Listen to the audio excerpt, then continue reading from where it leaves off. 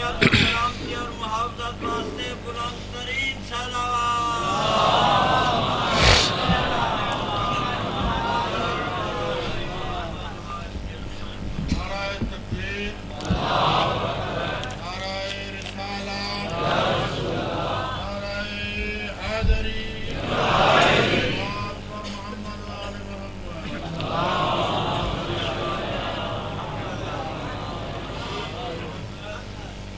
قبولیت عبادات کے لیے بآواز بلند صلوات۔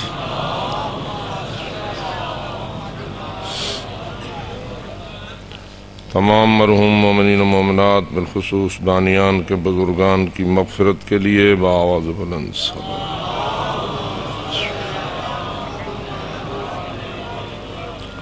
شہدائے کربلا اور شہدائے مکتب کربلا کی خدمت میں سلام عقیدت کے لیے بآواز بلند صلوات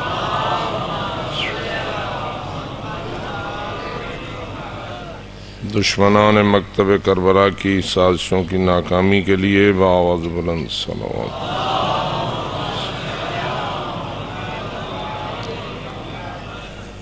عزاداری اور عزاداروں کی حفظ و سلامتی کے لیے بآواز بلند صلوات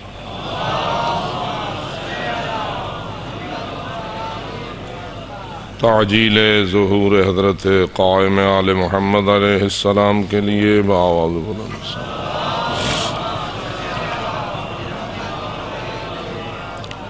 ما لا حول ولا قوة إلا بالله العلي العظيم رب اشرح لي صدري ويسر لي أمري واحلل عقدة من لساني يفقه قولي. أعوذ بالله من الشيطان اللعين الرجيم. بسم الله الرحمن الرحيم. الحمد لله رب العالمين. والصلاة والسلام على أشرف الأنبياء والمرسلين. سيدنا ونبينا وشفيع ذنوبنا وطبيب قلوبنا ومولانا أبي القاسم محمد.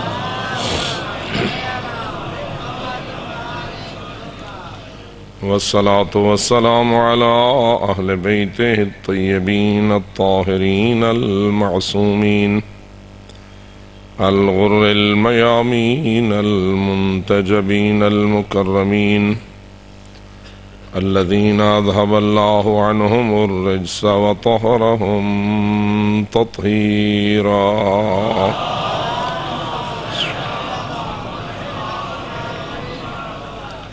ورحمة الله على أحبابهم وأصحابهم وشيعتهم ومواليهم أجمعين ولعنة الله على أعدائهم وقاتليهم وظالميهم ملعونين من يوم عداوتهم إلى أبد الآبدين أما بعد فقد قال الله تبارك وتعالى في كتابه المبين وخطابه المتين. بسم الله الرحمن الرحيم. إنما يريد الله ليذهب عنكم الرجس أهل البيت ويطهركم تطهيرا.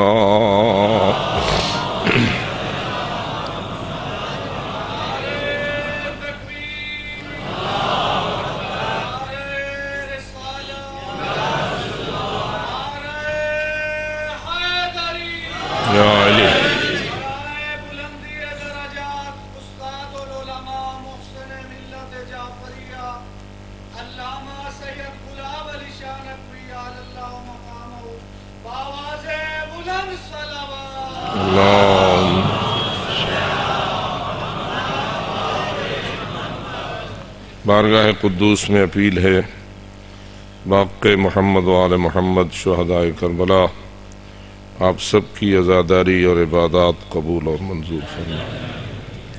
جن بزرگان نے اس سزاداری کی خدمت کی خدا وند منان انہیں اس کی احسن جزا نصیب فرمائے۔ ان کی قبروں اور لہدوں کو نور ولایت سے منور فرمائے۔ ہم سب کو اس سلسلہ اعضاء کو ترقی دینے کی توفیق عطا فرمائے۔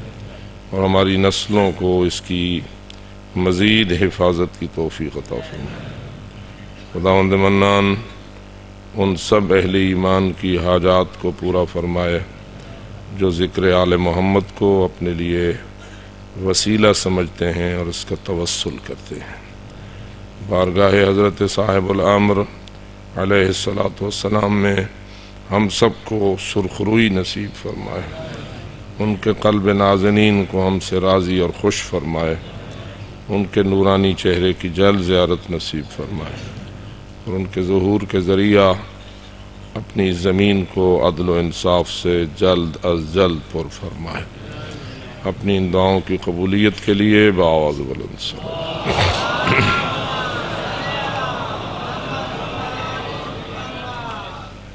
ارشاد رب العزت ہے، انما یرید اللہ اللہ کا ارادہ ہے، اے اہل البیت، تمہارے بارے میں فقط، کہ تم سے ہر قسم کے رجس کو دور رکھے، تمہیں ایسا پاک رکھے جیسا پاک رکھنے کا حق ہے۔ باواز بلند سلام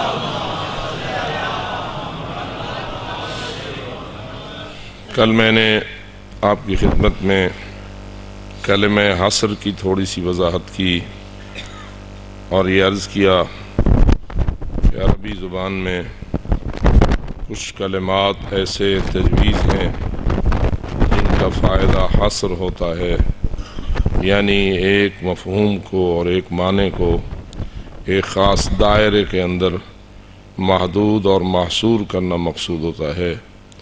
ان کلمات میں سے کلمہ انما ہے اور یہاں اسی لفظ انما کو استعمال کر کے رب العزت نے اپنی مخلوق بشری و انسانی کو اس امر سے آگاہ کرنا چاہا ہے کہ اللہ کا فقط اور فقط ارادہ اہل البیت تک محدود ہے کہ اہل البیت کے بارے میں اللہ نے یہ ارادہ فرمایا ہے کہ تم سے ہر قسم کے رجس کو دور رکھے اور تمہیں ایسا پاک رکھے جیسا پاک رکھنے کا حق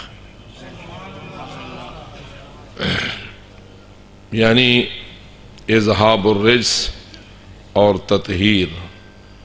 رجس سے دور رکھنا اور طاہر و متحر رکھنا یہ ایک ایسا کمال ہے اور یہ ایک ایسا نور ہے جس کے متعلق اللہ نے اہل البیت کے بارے میں ارادہ فرمایا ہے اور انما یہ بتا رہا ہے کہ یہ ارادہ فقط انہی ہستیوں تک محدود ہے۔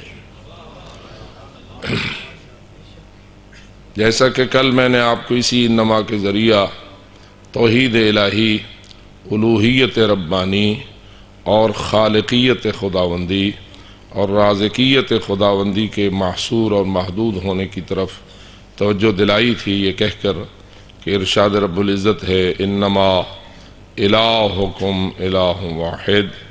سوائے اس کے نہیں، تمہارا معبود فقط ایک ہے اور وہ اللہ وحدہ لا شریک ہے۔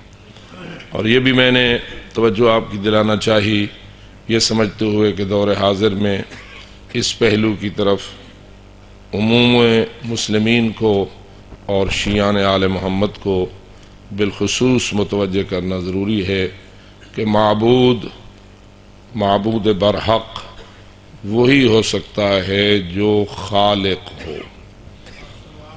یعنی ہم پر اسی کی عبادت کا حق قائم ہوتا ہے جس نے ہمیں خلق کیا ہو۔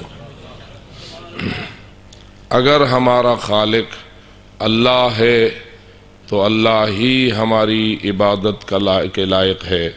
اور اگر ہمارا خالق کوئی اور ہے، تو پھر وہ ہماری عبادت کے لائق ہے۔ اور اگر ہم اللہ کے علاوہ کسی اور ہستی کو، خواہ وہ کوئی نبی ہو، خواہ کوئی امام ہو یا کوئی ولی ہو، اگر ہم اس کو اپنا خالق مانیں گے تو پھر اسے فقط نبوت، رسالت، امامت یا ولایت تک محدود نہیں کرنا ہوگا، بلکہ اسے اپنا معبود بھی ماننا ہوگا۔ اس لیے کہ اللہ نے قرآن میں فرمایا ہے، یا ایوہ الناس اعبدوا ربکم الذی خلقکم۔ اے انسانو، عبادت کرو تو اپنے اس رب کی جس نے تمہیں خلق کیا۔ اسی لیے قرآن مجید میں خالق کے حوالے سے بڑی لمبی تفصیلی آیات موجود ہیں۔ فرماتا ہے حل من خالق غیر اللہ کیا اللہ کے علاوہ کوئی اور خالق ہے؟ خالق کل شعی اللہ ہی ہر شے کا خالق ہے۔ اللہ ہی ہر شے کا۔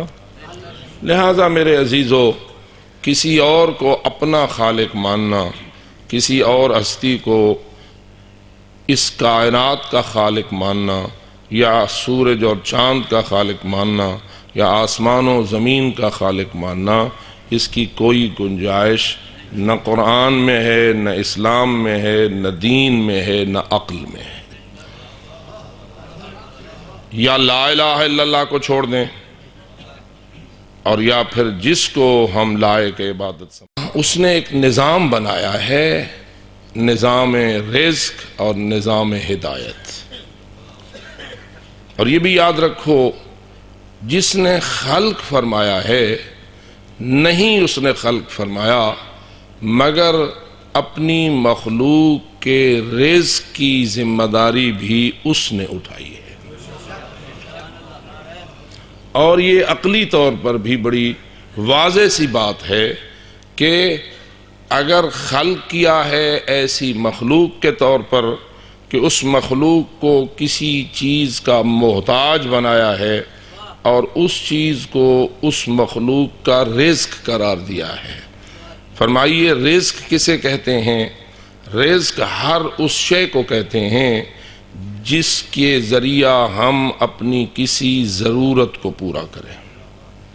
رزق ہر اس شے کو کہتے ہیں جو ہماری کسی ضرورت کو پورا کرے، ہمیں اس کی ضرورت لاحق ہو اور وہ ہماری اس ضرورت کو پورا کرے۔ تو ایسی چیز ہمارے لیے کیا بن جاتی ہے؟ رزق۔ مثلا ہمیں جب پیاس لگتی ہے تو ہمیں کیا چاہیے؟ کس چیز کی ضرورت ہے؟ پانی کی۔ پس پانی ہمارے لیے کیا ہو گیا؟ رزق۔ اگر ہمیں بھوک لگے تو ہمیں کھانا چاہیے۔ کھانا کیا ہو گیا؟ رزق۔ ہماری زندگی کے تسلسل کو بحال رکھنے کے لیے ہمیں ہوا چاہیے، آکسیجن چاہیے۔ آکسیجن کیا ہو گئی؟ رزق۔ ہمیں اپنے بدن کو پردپوش کرنے کے لیے یا سردی اور گرمی سے بچانے کے لیے لباس چاہیے۔ تو لباس کیا ہو گیا؟ رزق۔ ہمیں اپنی زندگی کی گزران کے لیے اپنے سر کی چھت چاہیے، مکان چاہیے، کمرہ چاہیے، گھر چاہیے۔ تو یہ گھر کیا ہو گیا؟ رزق۔ ہمیں اپنی جہالت کو دور کرنے کے لیے علم چاہیے، معلومات چاہیے۔ اور یہ علم کیا ہو گیا؟ کیونکہ پانی زیادہ ضروری ہے یا علم؟ باواز بلند صلوات۔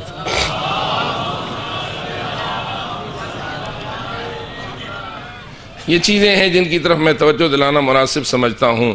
اسی لیے اللہ نے قرآن مجید میں فرمایا ہے، وَمِمَّا رَزَقْنَاهُمْ يُنفِقُونَ۔ جو میرے بندے ہیں، ہم ان کو جو بھی رزق دیتے ہیں، اسے وہ اپنی ذات تک محدود نہیں کرتے، مختص نہیں کرتے، فقط اپنے لیے اس رزق کو تالا لگا کر بند نہیں کر دیتے، بلکہ اسے جس نے دیا ہے اس کے نام پر دوبارہ خرچ کرنے سے محبت رکھتے ہیں۔ اور اسی لیے قرآن میں فرماتا ہے، ما من دابت فی الارض الا علی اللہ رزقها۔ زمین میں کوئی جاندار نہیں اللہ اللہ رزقہا مگر اس کا رزق کس کے ذمہ ہے؟ اور یہاں بھی اللہ نے وہی طرز تعبیر ادا کیا ہے۔ جس سے حسر پیدا ہوتی ہے، جس کے ذریعہ مفہوم کو محدود کیا جاتا ہے ایک خاص دائرے تک۔ کہا کہا، جیسے میں نے کل آپ کو عرض کیا تھا، لا الہ الا اللہ میں حسر موجود ہے یا نہیں؟ ایک ہے اللہ الہ ایک ہے لا الہ الا اللہ۔ اللہ الہ کا معنی یہ ہے کہ اللہ معبود ہے۔ لا الہ الا اللہ کا معنی یہ ہے، سوائے اللہ کے اور کوئی معبود نہیں۔ آپ فرمائیے، اگر کوئی فقط اللہ الہ پہ عقیدہ رکھے، لا الہ الا اللہ پہ عقیدہ نہ رکھے، تو اس کا مطلب یہ ہے، وہ اللہ کو بھی الہ مانتا ہے۔ اور اللہ ہی الہ ہے یا اللہ بھی الہ ہے؟ تھوڑا سا اردو بھی آپ کے لیے واضح ہو جاتا ہے، اردو میں بھی کلمات حسر ہیں۔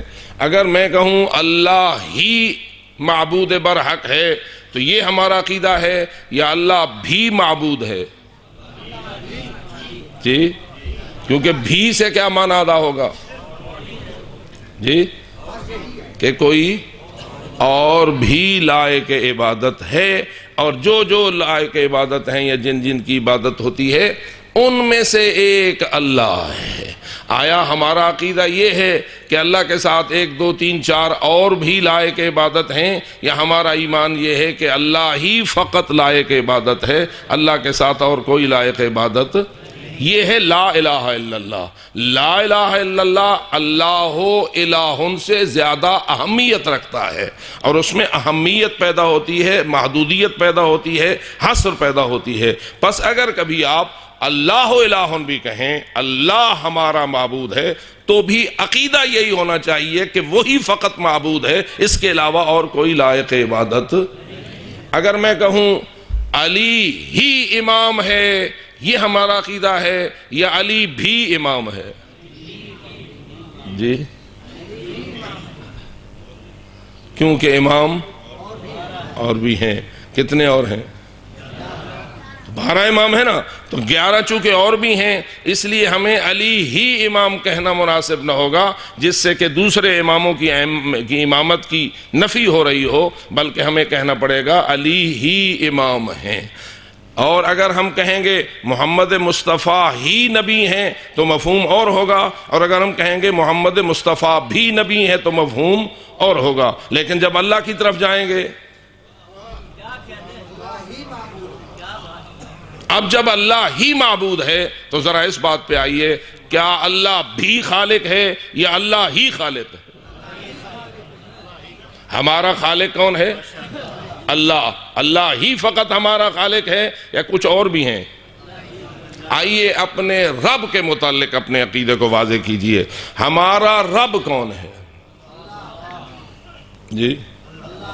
یہ لفظ رب اب ماشاءاللہ اردو میں بھی استعمال ہوتا ہے، عربی میں بھی تو ہوتا ہی ہے۔ اور بھی زبانیں اس لفظ رب کو لے رہی ہیں۔ اور آج کل چونکہ لفظ رب کے بارے میں بھول بھلیاں ہیں، لوگوں کو مختلف قسم کے چکروں میں پھنسا کر کیا سے کیا کہنے کی کوشش کی جا رہی ہے، آئیے ان باتوں کو اب کھول کر اور واضح کر کے کریں یا تھوڑا سا ابہام رکھیں۔ باواز بلند صلوات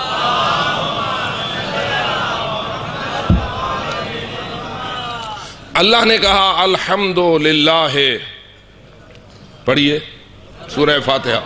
الحمد للہ رب لائق حمد ہے، ساری تعریفیں ہیں، کس کے لیے؟ اس اللہ کے لیے، جو کون ہے؟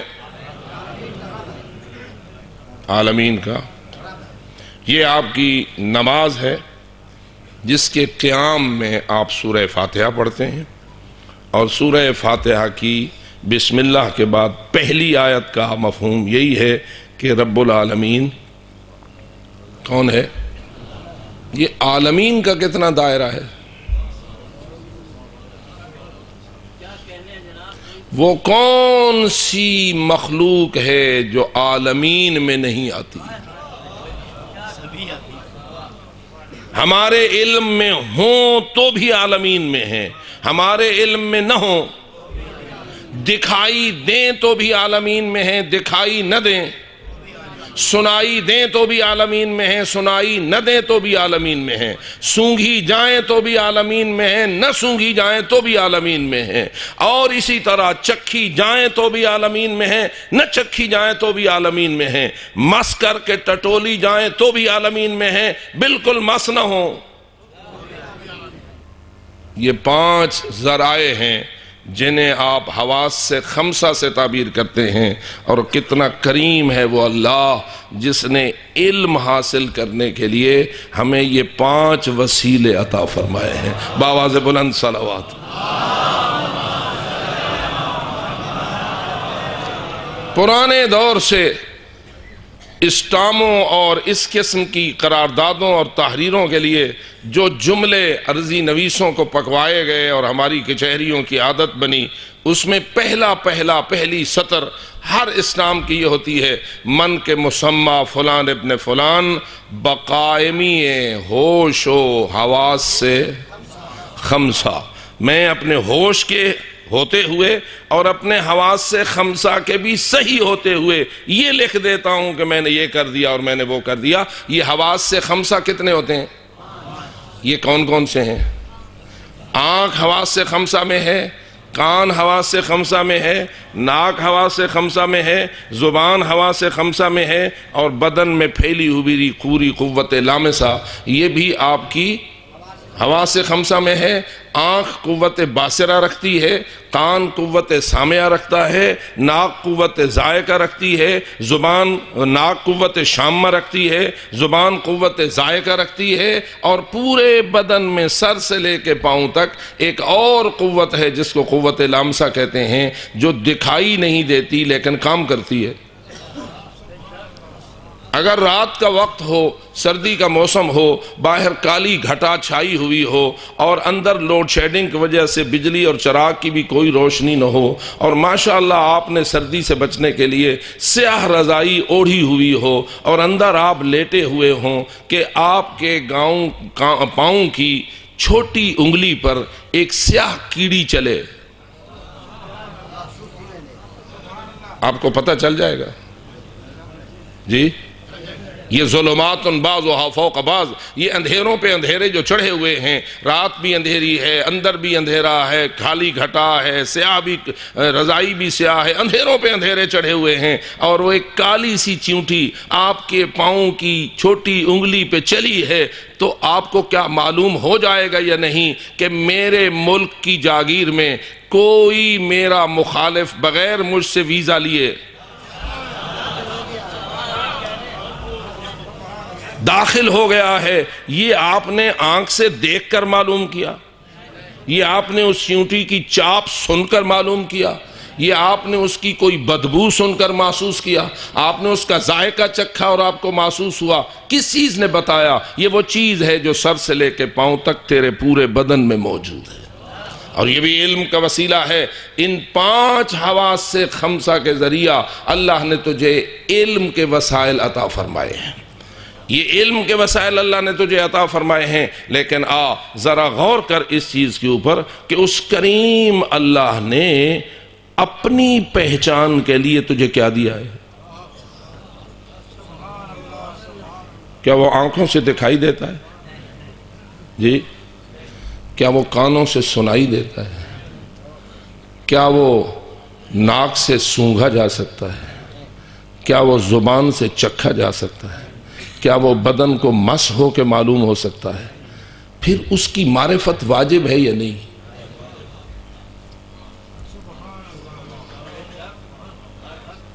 معرفت توحید واجب ہے یا نہیں؟ معرفت وحدانیت کھانے سے زیادہ واجب ہے یا نہیں؟ پینے سے زیادہ واجب ہے یا نہیں؟ روٹی، کپڑا اور مکان بہت بڑی ضرورت ہے کہ اس نعرے نے لوگوں کو حکومتیں بخشی ہیں اور اس نعرے کی وجہ سے ہم نے لوگوں کو تخت پہ چڑھا دیا ہے۔ چلے گئے، پھر بھی نعرہ مؤثر ہے۔ وہ اپنی پوری تاثیر کے ساتھ کام کر رہا ہے اور ماشاءاللہ جیالے اس نعرے کے عاشق ہیں۔ لیکن انہی سے میں پوچھتا ہوں، آیا روٹی، کپڑا اور مکان زیادہ ضروری ہے یا معرفت برحق؟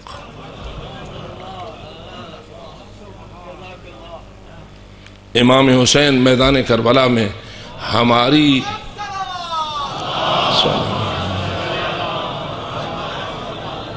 امام مظلوم میدان کربلا میں ہماری روٹی کے لیے گئے تھے۔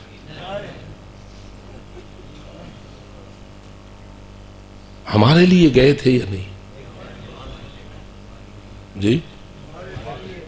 ہم پر کوئی احسان کیا تھا یا نہیں؟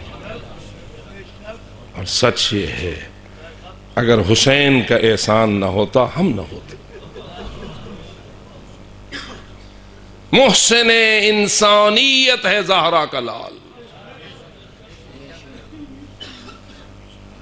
جب ہمارے لیے گئے تھے تو ہماری ایک ضرورت روٹی ہے کیا اسی لیے کے لیے گئے تھے؟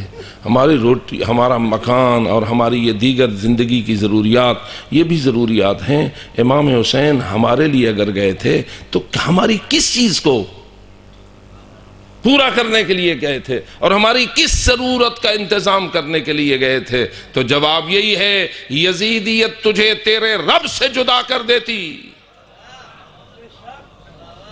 یزیدیت نام ہے رب سے دور کرنے کا حسینیت نام ہے رب کی معرفت پہنچانے کا۔ زندہ آباد۔ زندہ آباد۔ مرد آباد۔ مرد آباد۔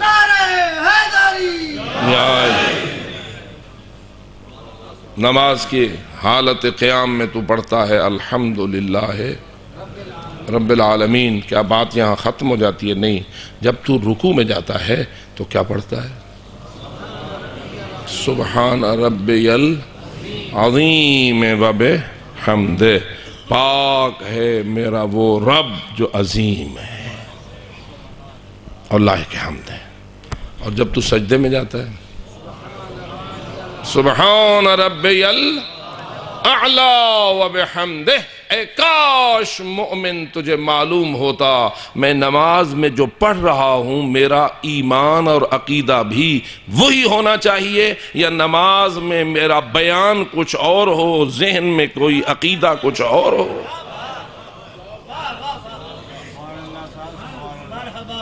کتنا بڑا تضاد ہوگا اس بات میں کہ ذہن میں، عقل میں، دل میں کچھ اور ہو، زبان پہ کچھ اور ہو، جس کے ذہن پہ کچھ اور ہو اور زبان پہ کچھ اور ہو، اور کچھ نہ صحیح اسے مومن نہیں کہا جا سکتا۔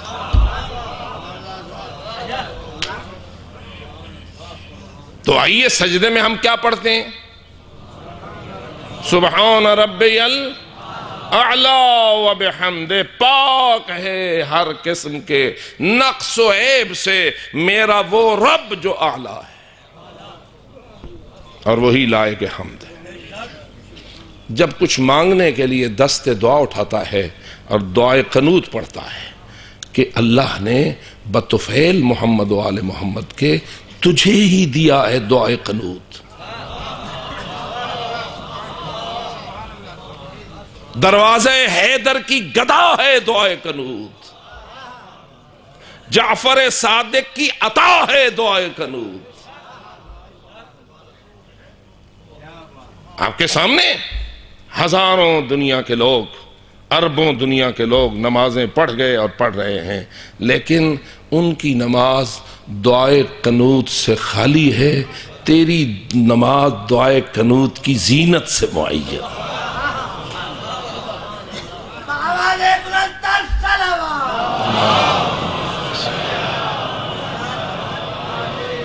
اور جب تو دوسری رکت کے رکوع سے پہلے دست دعا اٹھا کر دعائے قنوت پڑھتا ہے، تو عموماً کہتا ہے، ربنا پڑھئے آتنا فی الدنیا حسنتم وفی الآخرت حسنتم وقنا عذاب النار۔ یہ تو اپنا رب کسے کہہ رہا ہے؟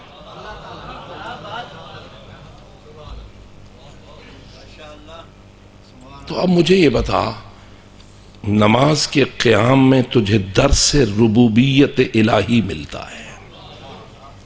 رکوع میں بھی تجھے درس ربوبیت خداوندی ملتا ہے۔ سجدے میں بھی تو اقرار ربوبیت الہی کرتا ہے۔ قنوت میں بھی تو اسی کے سامنے جھک کے اس سے مانگتا ہے۔ اور جب نماز ختم ہو جاتی ہے تو پتہ نہیں چلتا کہ میرا رب کون ہے۔ اور پھر دیکھ، آج جو تجھے کئی مقرر اور کئی واعظ اور کئی ذاکر علی کے رب ہونے کا دس دیتے ہیں، وہ علی کس کو رب مانتا تھا؟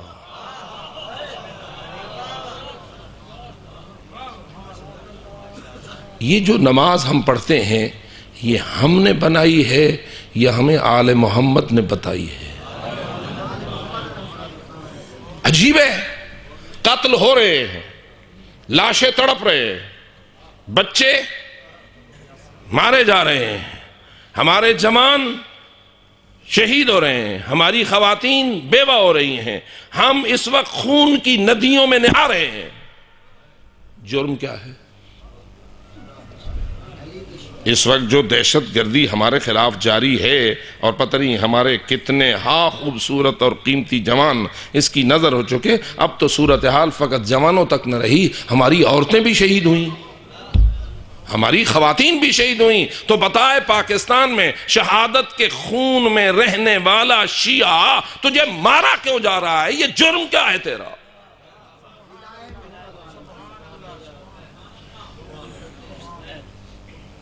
جواب یہی ہے۔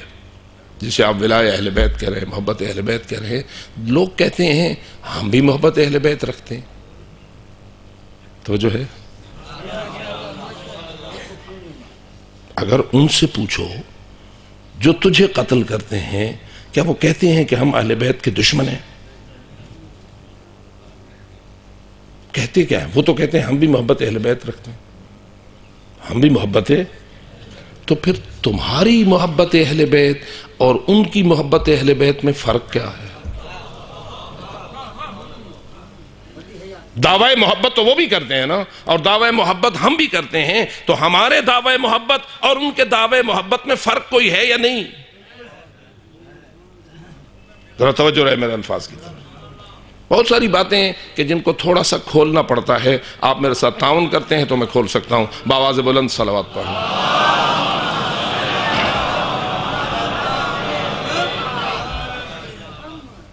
جہاں آ کر ایک فرق واضح ہوتا ہے۔ باقی اور بہت ساری باتیں جو کرنے کی ہیں، لیکن ایک واضح ترین فرق کہ جس سے انکار کی کسی کو کوئی گنجائش نہیں۔ اور وہ یہ کہ جب نماز پیغمبر جو اللہ نے اپنے رسول پر نازل کی۔ اللہ نے اپنی نماز واجب کی نا۔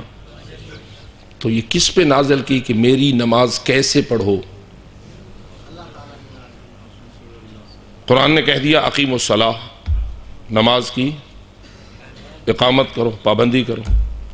بھئی وہ نماز کیا ہوتی ہے؟ کیسے پڑھی جاتی ہے؟ اس کا طریقہ کار کیا ہے؟ پڑھی جاتی ہے، سر پہ اٹھائی جاتی ہے۔ کیا کیا جاتا ہے نماز کو؟ کیا ہے نماز؟ قائم کرنے کا مطلب کیا ہے؟ قرآن نے تو کہہ دیا، اب رسول اکرم کی ذمہ داری لگائی اللہ نے۔ ان کو کہو سلو کمارا اے تمونی اسلی ایسے ہی پڑھو جیسے میں پڑھتا ہوں۔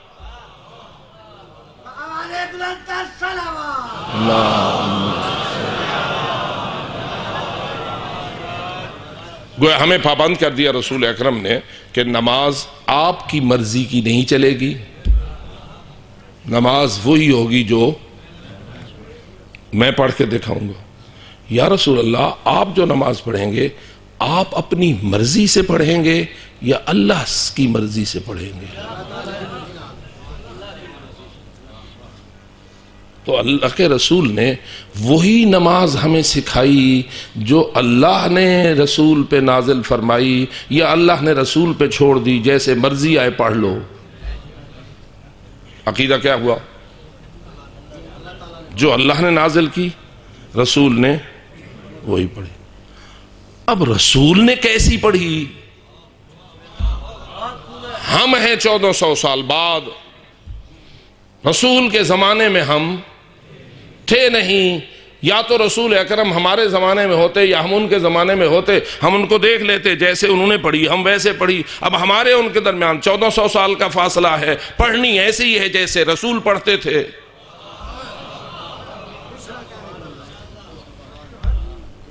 اب ہم وہ رسول والی نماز کہاں سے لیں؟ توجہ ہے۔ لینی ہم نے رسول کی نماز ہے اور سارا عالم اسلام بلا امتیاز فرقہ و مکتب، اس امر پر یقین رکھتا ہے کہ نماز وہی ہے جو اللہ نے رسول پہ نازل کی اور رسول اکرم نے پڑھی اور تیئیس سال ظاہر بظاہر پڑھی۔ پہلے چالیس سال پڑھتے ہوں گے، لیکن لوگوں کو پتہ نہ ہوگا، غار حرا میں پڑھتے ہوں گے، کہیں اور پڑھتے ہوں گے، لیکن تیئیس سال دو آپ کا دورہ رسالت و تبلیغ ہے، اس میں تو آپ نے ظاہر بظاہر لوگوں کے سامنے پڑھی۔ اب لوگوں کے سامنے تیئیس سال مسلسل جو نماز محمد رسول اللہ صلی اللہ علیہ وآلہ وسلم پڑھتے رہے، اس میں جھگڑا ہو گیا۔ کوئی کہتا ہے ایسے ہے، کوئی کہتا ہے ایسے ہے۔ امت مسلمہ کے درمیان رسول کی نماز مختلف فی ہو گئی ہے یا نہیں؟ جی؟ ہو گئی۔ اب ہے کون سی اصلی؟ وہ واقعی نماز کون سی ہے جو رسول اکرم پڑھتے تھے؟ اب ہمارا نظریہ کیا ہے یا ہمارا قصور کیا ہے؟ ہم کہتے ہیں اصلی رسول کی نماز وہی ہے جو اہل بیت نے بتائی ہے۔ اور دوسرے بھائی کہتے ہیں نہیں، جو حضرت ابو حنیفہ نے بتائی ہے، جو حضرت احمد ابن حنبل نے بتائی ہے، جو حضرت شافی نے بتائی ہے، یا جو حضرت مالک نے بتائی ہے، یا دیگر بزرگان نے بتائی ہے، ان والی نماز اصلی رسول کی نماز ہے۔ آپ کیا کہتے ہیں؟ ان بارہ اماموں نے جو نماز بتائی ہے، وہ رسول والی نماز ہے۔ اب آپ ہو گئے تھوڑے، وہ ہو گئے زیادہ اب وہ لگے ہیں آپ کو مارنے کہ کیوں نہیں چھوڑتے ہو؟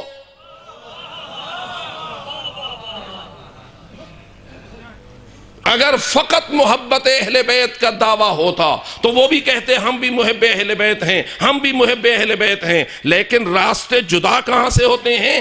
دعوے محبت میں جدا نہیں ہوتے، اطاعت اہل بیت میں جدا ہوتے ہیں۔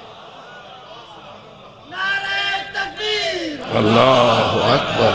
نعره السلام نعره هلبی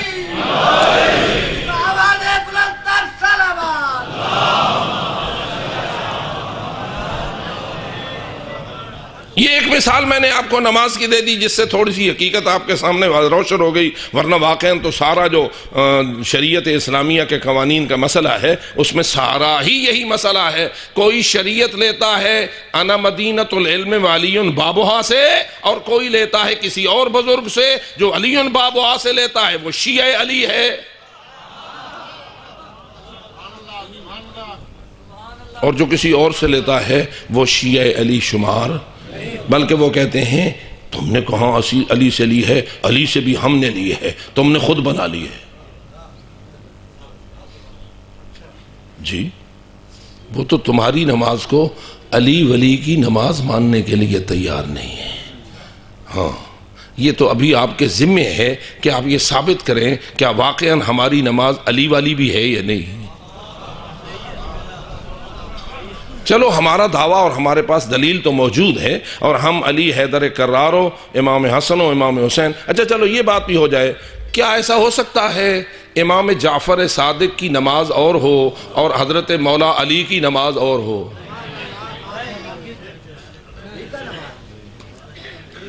جی؟ اور اگر یہ ثابت ہو جائے کہ زمانہ حضرت امام جعفر صادق میں ان کے شاگرد کی نماز حضرت ابو حنیفہ کی اور تھی اور امام جعفر صادق علیہ السلام کی نماز اور تھی تو پھر مسئلہ واضح ہے یا نہیں؟ یہ باتیں تو روایات میں موجود ہیں۔ امیر المومنین، جب جنگ جمل کے بعد بسرا پہنچے اور مسجد بسرا میں جا کے آپ نے نماز با جماعت پڑھائی، تو کچھ صحابہ جو مدینہ چھوڑ کر بسرا پہنچے ہوئے تھے، وہاں انہوں نے علی کے پیچھے نماز پڑھی۔ تو نماز پڑھنے کے بعد یہ کہا، کتنے لمبے عرصے بعد ہم نے وہ نماز پڑھی جو رسول پڑھاتے تھے۔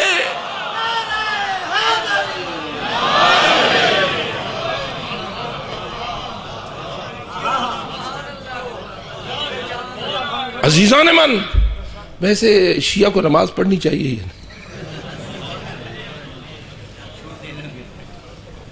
شیعہ کو فقط ماتمی ہونا چاہیے یا نمازی بھی ہونا چاہیے؟ جی؟ سوچنے کی بات ہے۔ اور میرا ایمان یہ ہے، وہ ماتمی ماتمی نہیں جو نمازی نہ ہو، وہ نمازی نمازی نہیں جو ماتمی نہ ہو۔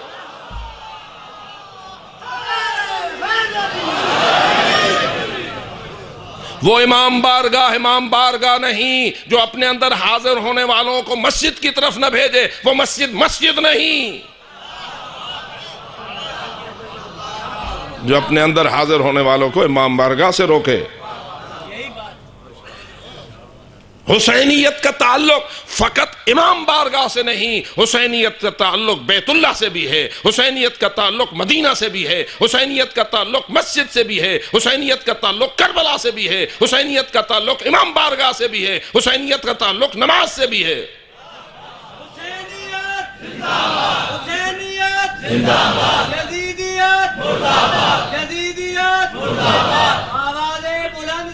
اللہ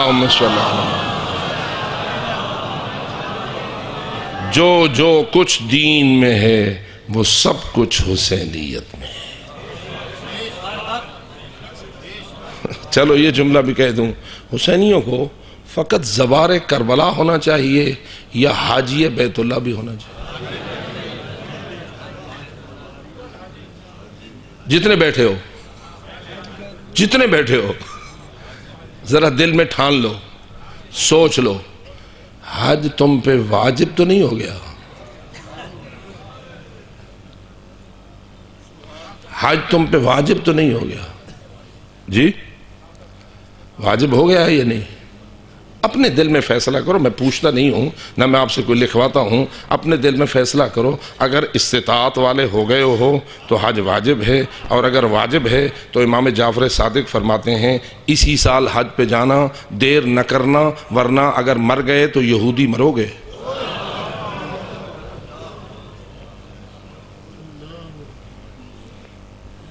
مذاق نہیں۔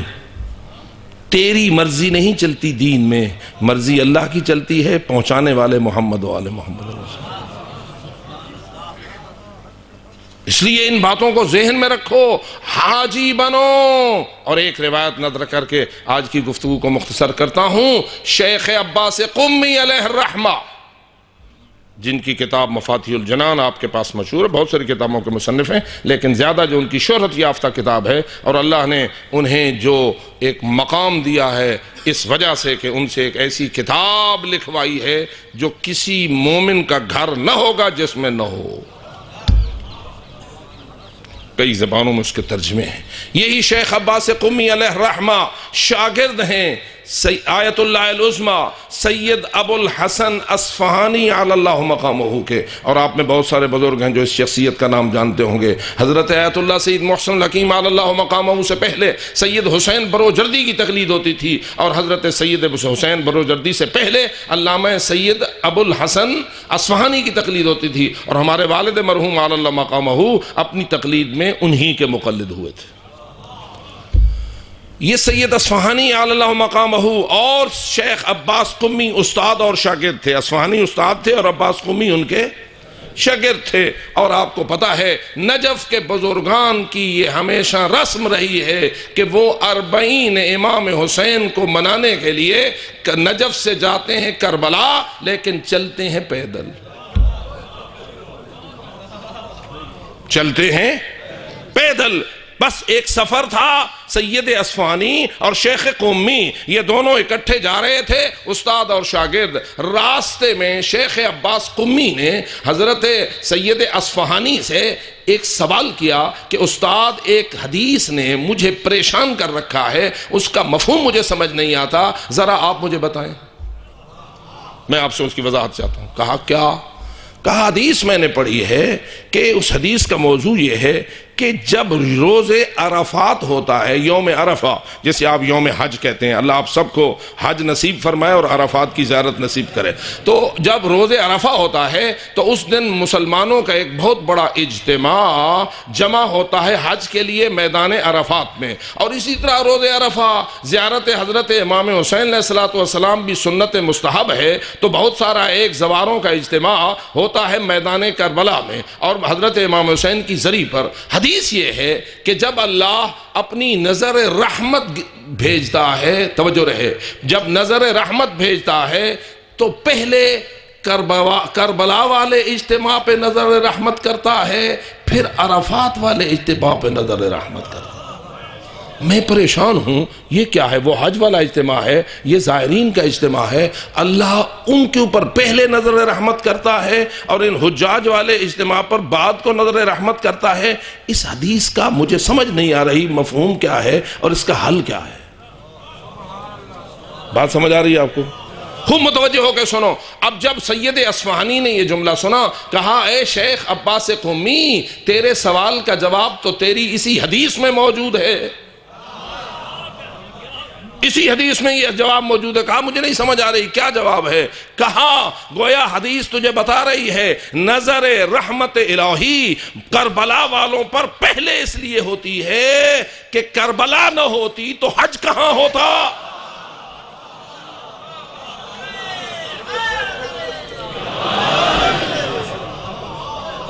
اگر کربلا والا کربلا نہ بسا تھا، تو آج حج کیسے زندہ ہوتا، عرفات کیسے زندہ ہوتا؟ تو کیا اس حدیث کو سننے کے بعد آپ یہ مفہوم بنا لیں گے، پس ہمیں کربلا جانا چاہیے؟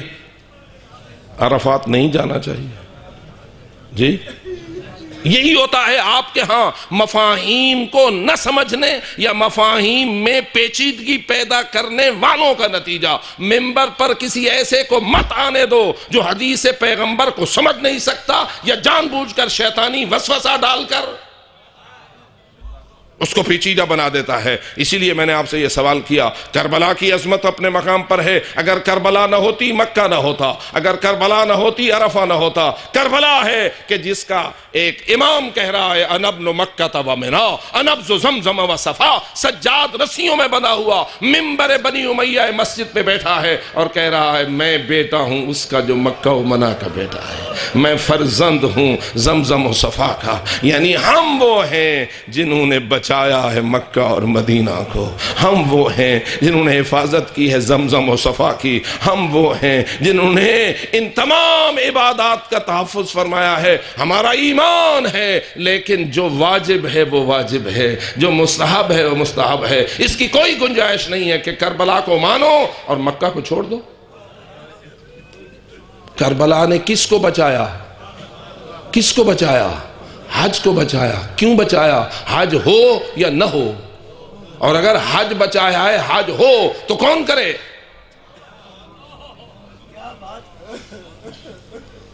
آؤ میرے عزیز دوستو، بڑی عظمت حاصل ہے ان مقامات مقدسہ کو بچایا، معمولی طور پر نہیں ہے۔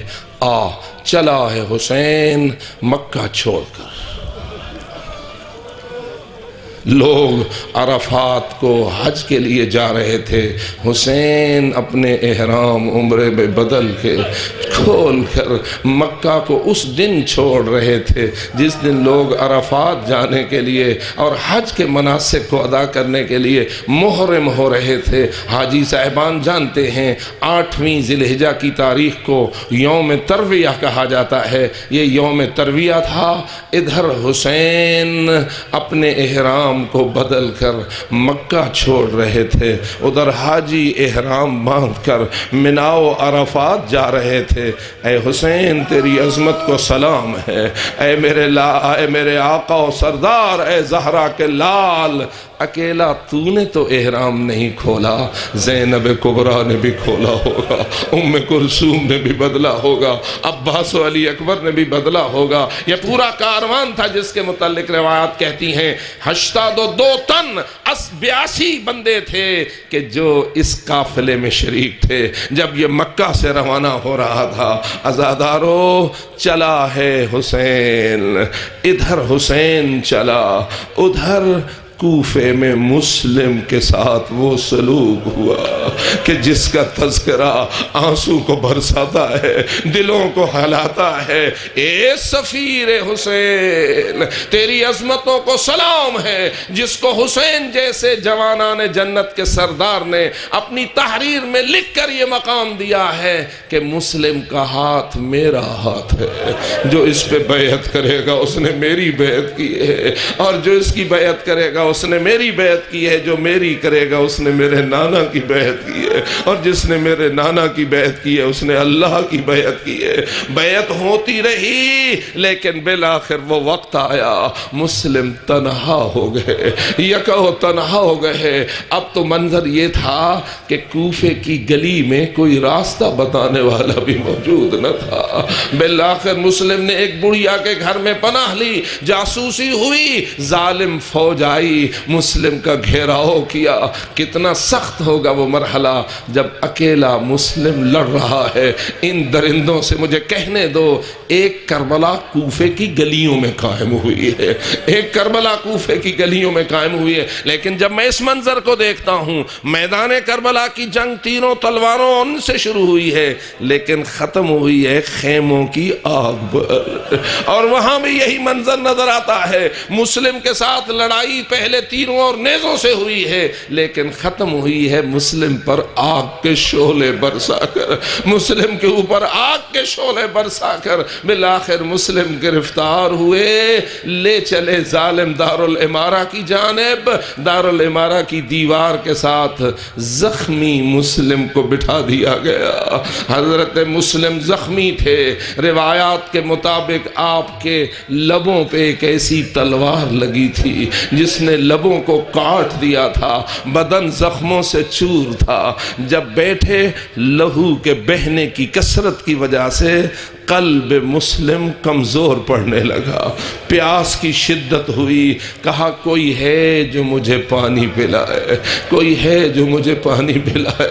مجھے حیران ہوتا ہوں۔ اے کربلا کے لیے ہونے والے شہید ہو۔ اے مکتب حسینیت پہ شہید ہونے والو، تمہاری شہادت اللہ جانے پیاس کے ساتھ کیوں مربوط ہے؟ تمہاری شہادت کیوں پیاس سے مربوط ہے؟ پانی پلانے والا کوئی ہے؟ ایک ظالم نے تو بڑا سخت جواب دیا، لیکن دوسرا اٹھا اٹھا اس نے اپنے ہاتھ میں پیالہ لیا، مسلم کے لیے پیالے میں پانی ڈالا، دیا۔ مسلم نے جب یہ پانی کا پیالہ اپنے لبوں سے لگایا، سن چکے ہونا کہ لب تو زخمی تھے اور کٹے ہوئے تھے، لہو بہ رہا تھا۔ جب پانی میں لہو گرا، مسلم نے وہ پیالہ واپس دے دیا۔ میں نہیں پی سکتا۔ اس نے دوبارہ اس پیالے کو پانی سے بھرا، پھر دیا تو پھر لہو میں وہ پر تر ہو گیا۔ تیسری مرتبہ دیا۔ ابھی مسلم نے قریب کیا، دانتوں سے ٹکرایا، دانت ٹوٹ کر گر گئے۔ نتیجتاً اور خون کا فوارہ ابلا۔ مسلم نے یہ کہہ کے واپس کر دیا، اگر میری قسمت ہوتی تو میں یہ پانی پیتا۔ اگر میرے مقدر میں ہوتا تو میں یہ پانی پیتا۔ میں کہوں گا، اے مسلم ابن عقیل، بے شک آپ بھی پیاسے رہے، لیکن پھر بھی آپ کی قسمت اچھی تھی۔ آپ نے پانی مانگا، آپ تو مل تو گیا۔ آپ نے پانی پانی مانگا، آپ کو ملا تو ہے۔ اور میری لاکھوں مرتبہ جان، علی اصغر تیری پیاس پر۔ اور تجھے کریم ابن کریم ہاتھوں پہ اٹھا کے پانی کا ایک گھونٹ مانگتے رہے۔ لیکن بجائے پانی کے تیر آیا۔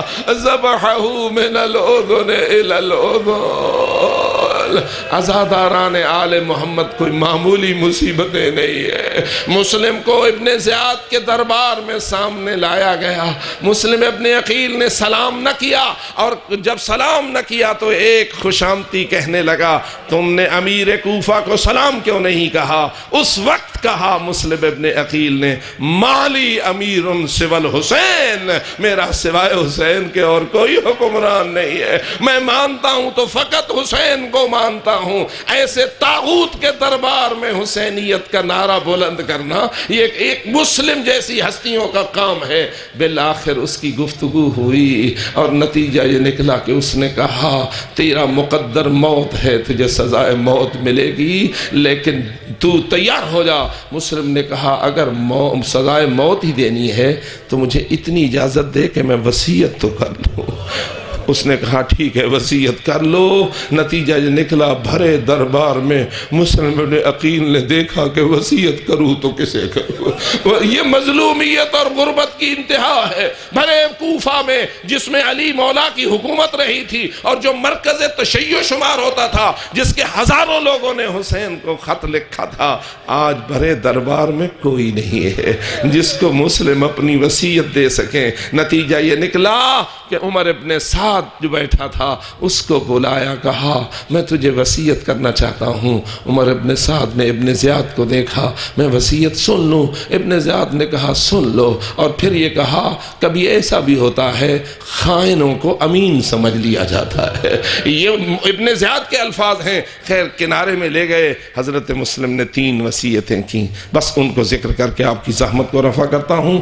پہلی وسیعت یہ ہے، میں جب سے کوفہ میں آیا ہوں کچھ مقروض ہو گیا۔ توجہ کرو میرے عزیزو، اے مسلم ابن عقیل سے محبت رکھنے والو اور ان کی سنت کو اپنے لیے دین سمجھنے والو، آؤ غور کرو، مسلم ابن عقیل سفیر حسینی ہے، مہمان بن کے بلایا گیا ہے، لیکن فرماتے ہیں میں مقروض ہو گیا ہوں اور میں نہیں چاہتا ہوں کہ میں قرضے کی، ادائیگی کی سبیل بنائے بغیر فوت ہو جاؤں، میں مقروض فوت نہیں ہونا چاہتا ہوں۔ تو ایسا، اے عمر ابن سعد، میرے پاس اور تو کچھ نہیں تلوار انہوں نے چھین لی ہے، زرہ میں نے پہنی ہوئی ہے۔ میری اس تلوار اور زرہ کو بیچ دینا، میرا قرضہ ادا کرنے کی کوشش کرنا۔ میری زرہ اور تلوار کو بیچ کر میرا قرضہ ادا کرنا۔ یہ ہے وہ سنت کے جو ایک حسینی مجاہد ہمیں دے رہا ہے۔ یعنی اے قرضہ لینے والو، قرضہ کھانے کے لیے قرضہ نہ لو، قرضہ دینے کے لیے قرضہ لو۔ اور اپنے آپ کو ایسی حالت میں موت کے دہانے پہ نہ پہنچاؤ کہ تم مقروض مقروض ہو جاؤ اور اگر مقروض ہو تو قرض ادا کرنے کی سبیل پیدا کرو کہ تمہیں سفیر حسینی نے یہ اپنی ہدایت فرمائی ہے اور اس کے بعد فرمایا کہ اچھا دوسری وسیعت میری یہ ہے، میں اپنے مولا کو خط لکھ بیٹھا ہوں کہ کوفے کے حالات درست ہیں، آ جائیے، وہ آ رہے ہوں گے، لیکن یہاں تو میں شہید ہو رہا ہوں۔ میری تجھ سے دوسری وسیعت یہ ہے، کسی طرح میرے مولا کو بتا دینا، مسلم کہتا تھا کوفہ کے حالات درست نہیں رہے۔ لہذا آپ یہاں کوفہ نہ آئیں۔ اور تیسری میری وسیعت یہ ہے، یہاں میں غریب ہوں، میرا کوئی نہیں ہے۔ جب میں مارا جاؤں تو میری لاش کی تجہیز و تکفیر اور ان کو غسل و کفن دینے کی کوشش کرنا۔ ازادارو بس اتنا پوچھتا ہوں دارالمارا کی چھت پر مسلم کا سر تن سے جدا کیا گیا۔ لاش اور سر کوفے کی گلی میں پھینکا گیا۔ کیا غسل ہوا؟ کیا کفن ہوا؟ کیا جنازہ پڑھا گیا؟ کیا دفن پڑھا گیا؟ روایت یہ ہے کہ نہیں نہیں، مسلم اور ہانی دونوں کے قدموں میں رسیاں ڈال کر کوفے کی گلی گلی میں پھرایا گیا۔ کوفے کی گلیوں میں پھرایا گیا۔ یہ وہ حسینی مجاہد ہیں جنہوں نے اپنا سب کچھ لٹا کے تیرے لیے دین بچایا ہے، تیرے لیے نواز بچائی ہے اور تیرے لیے حق کے علم کو سر بلند کیا ہے۔ خدا مندہ ہمیں ان حسینیوں کا نقش قدم نصیب فرما اور اس پر چلنے کی توفیق عطا فرما. اللہ لعنت اللہ علی القوم الظالمین